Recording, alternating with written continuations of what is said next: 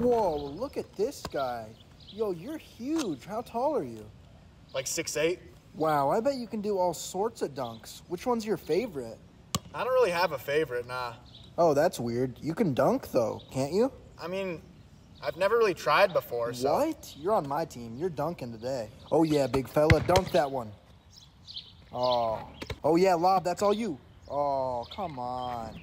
All right, out of game, you're going to be able to get one so easily. Here we go. Oh. Just getting warmed up. Here you go. Yeah, try to throw yourself a lob.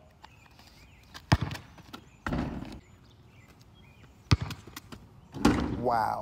Okay, literally the only possible answer to this is that you can't palm the ball. That's got to be it. No, I don't think that's the problem. I can palm it pretty easily. Oh, okay. So you're just the most unathletic person I've ever seen. You're really holding halfway up the net without jumping, and you still can't dunk. Yeah, I don't know. I guess I just need to hit like a growth spurt or something. Bro, what?